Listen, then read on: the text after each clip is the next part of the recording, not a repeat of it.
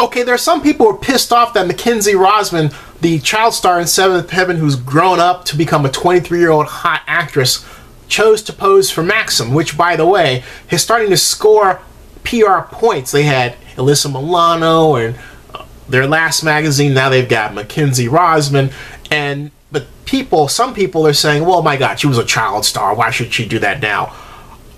I never watched Seventh Heaven, folks, so I have no connection to Mackenzie Rosman as a kid. This is the only Mackenzie Rosman I know of, and she popped up on Google Trends. So there you go. That's it. She is absolutely hot, stunning. And what I love is she said, Look, this is my decision. I decided to do this. And basically, she's saying, folks, get over it. All right?